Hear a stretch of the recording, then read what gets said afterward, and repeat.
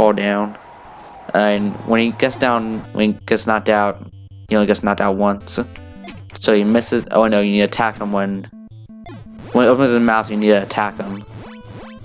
You just repeat it five times. Ooh, got me there. Doesn't mess you up. Oh no. It's a very hard boss.